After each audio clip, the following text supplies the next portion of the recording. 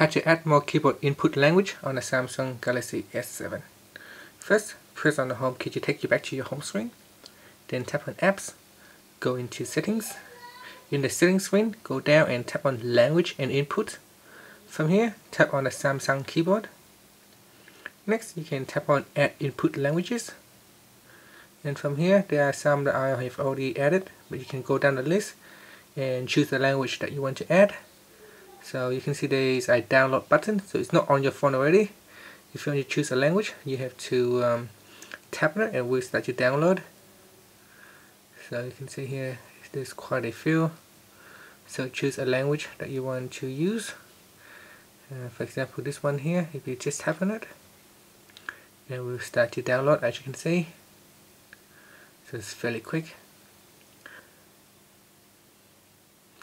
so once it is uh, downloaded it will become available up here.